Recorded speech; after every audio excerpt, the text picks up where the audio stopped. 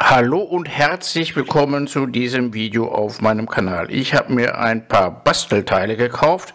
Normalerweise ist das Zusammenbauen einer Lok aus Ersatzteil viel zu teuer. Gibt es dann und wann mal wieder einen Schnapper. Ich habe hier zwei Gehäuse der 3021. Steht bei dieser Version hier auch sogar auf dem Gehäuse selber. V200006. Davon habe ich zwei Stück, haben 8,99 jeweils gekostet. Hier bei dieser Version hat wohl jemand schon mal das Dach gestrichen. Ich habe das aber schon mal eben mit Feuchttüchern sauber gemacht. Hier fehlt ein bisschen Farbe, aber es gibt keine mechanischen Beschädigungen an den Gehäusen. Hier auch müsst ihr noch mal sauber wischen, aber dafür mache ich ja das Video. Das ist hier auch V200 und das sind die Varianten, die noch keinen Lichtleiter haben. Den Lichtleiter gab es erst 1960, da waren hier vorne alle drei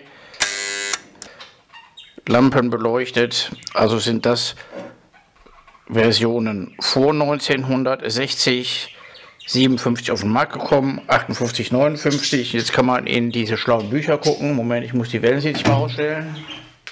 Ja, manchmal merke ich das gar nicht mit den Wellensittichen, aber ich hatte einen Kommentar und jetzt vermissen sie natürlich hier und zwitschern dafür umso lauter.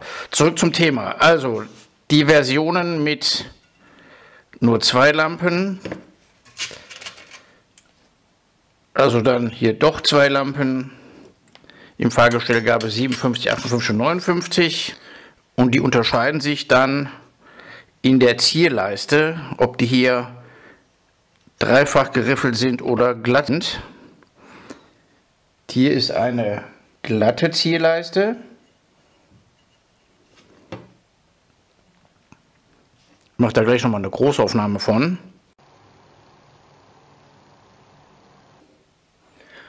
Das ist dann 58,59.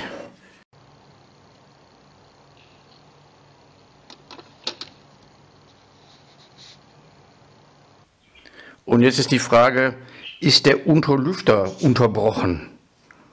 Und es gibt das eine oder andere Video, da wird von der Version 1 gesprochen. Aber ich zeige mal den Unterschied. Das ist dann also hier Version 3, 5859. Und ob das jetzt Version 1 ist, nehmen wir hier die Taschenlampe. Und wir sehen,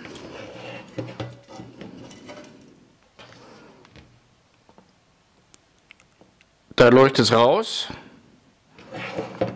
Und hier leuchtet nichts mehr.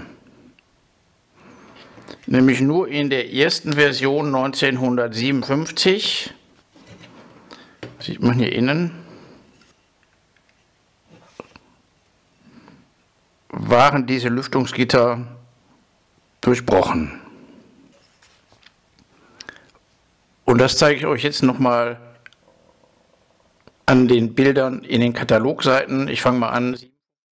Märklin-Katalog 1957, Seite 5, Märklin Neuschöpfung. Und ich bitte euch mal das Augenmerk zu richten hier oben auf die Lampe.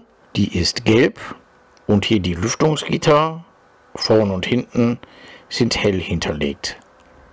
Jetzt gehen wir das Jahr 1958. Lüftungsgitter rot und die Lampe ist auch grau. 1959, die Lampe ist weiterhin grau und auch in der Folge bleiben hier die Lüftungsgitter rot. Jetzt sind wir im Jahr 1960.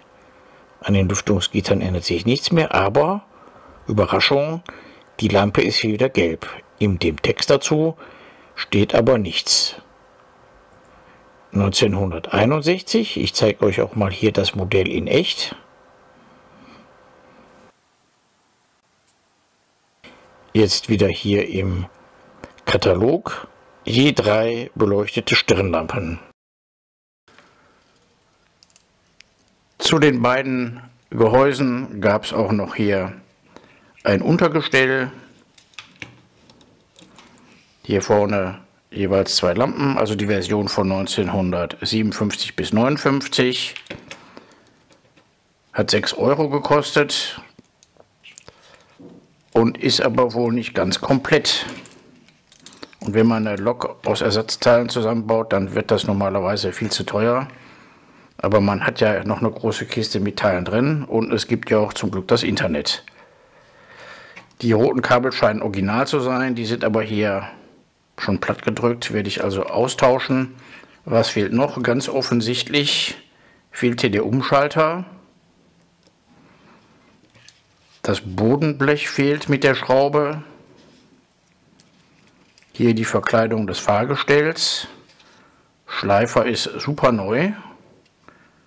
Man kann aber erkennen hier oben oder hier drin, so ein bisschen blinkt. Da fehlt die Kontaktplatte. Das heißt, der Schleifer ist direkt angelötet.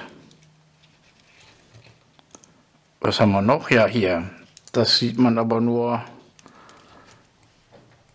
mit guten Augen. Wer erkennt es hier? Plastikhaftreifen, Plastikhaftreifen, Plastikhaftreifen.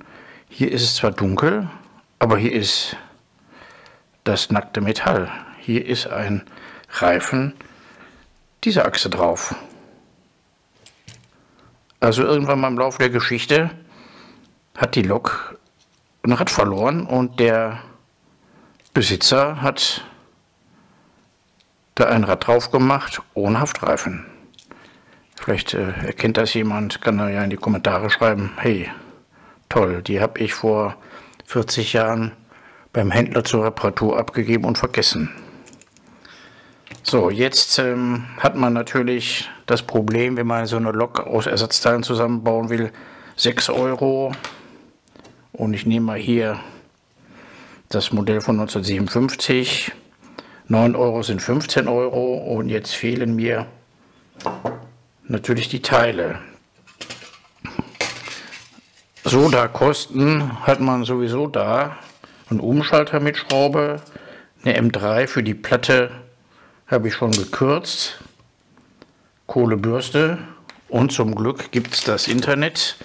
Ich verlinke mal die Kontaktadresse in die Beschreibung. Ein gut sortierter Internethandel, spezialisiert auf alte Märklin-Sachen.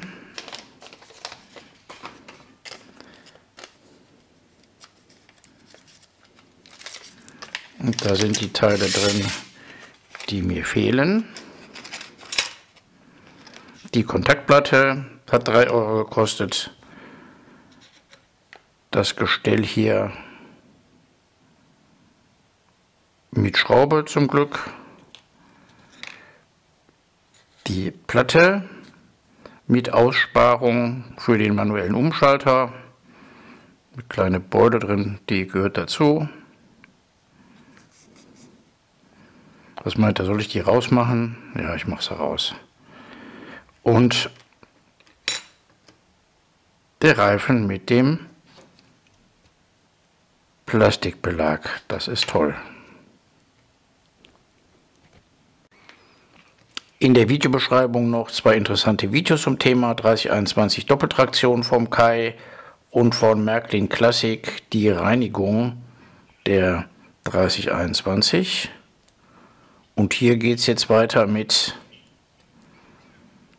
dem kompletten Zerlegen, dem Reinigen des Motors und dann der Zusammenbau.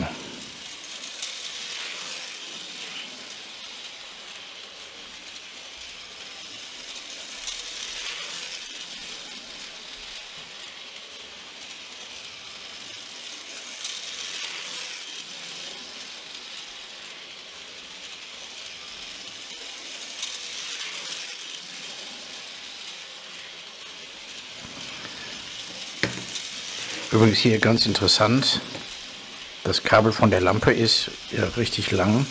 Das bedeutet, Sie haben es nicht angelötet hier am Motor, wo hier die Leitung vom Schleifer direkt ankommt, sondern damit die Bewegungsfreiheit des Motors nicht eingeschränkt wird, wurde das Kabel dann hier hinten hingeführt.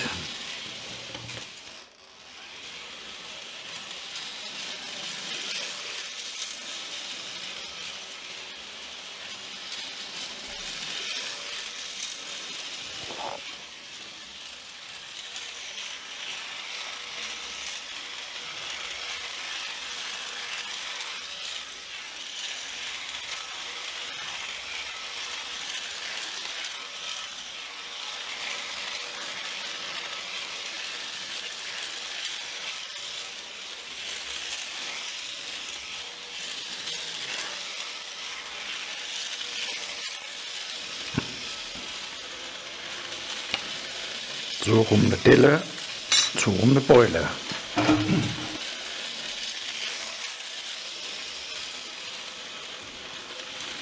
Da fragt man sich schon, wie an so eine Stelle so eine Delle reinkommt.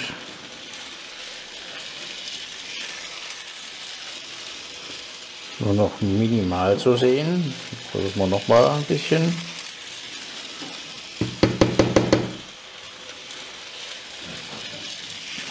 Wenn man es weiß, erkennt man noch diese zwei kleinen Erhebungen und hier so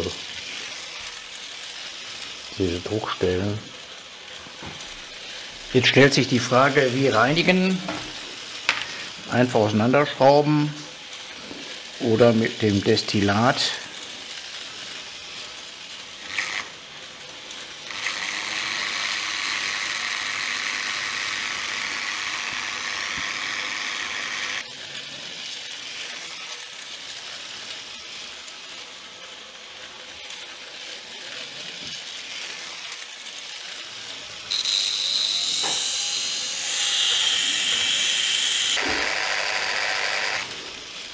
So, fünf Minuten in jede Richtung. Das wird jetzt reichen. Hier schwimmt ganz schön was drin rum.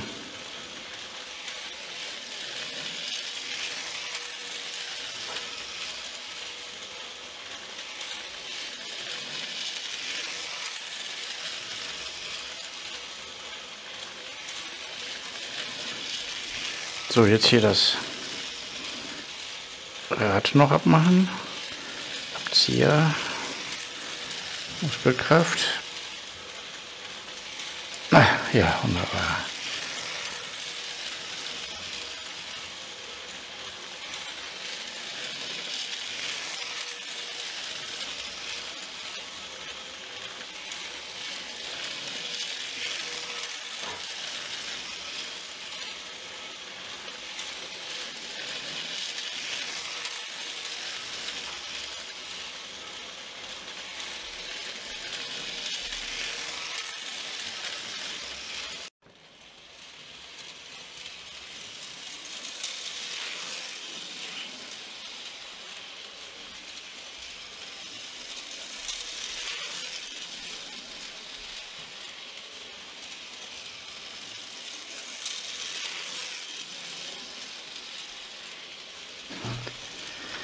Können wir da schon ein bisschen ölen.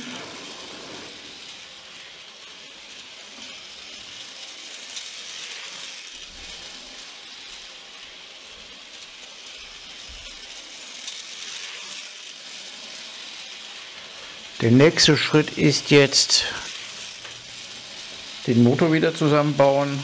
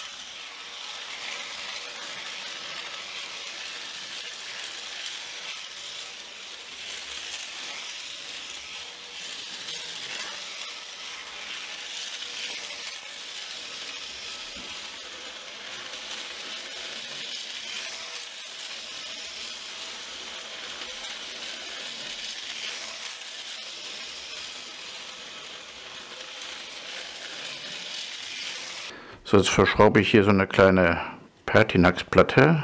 Die kommt da dran. Nicht so rum. An die lange Schraube. Ich habe alte Bilder gesucht. Und so ein Ding scheint auch bei der alten Lok dran gewesen zu sein.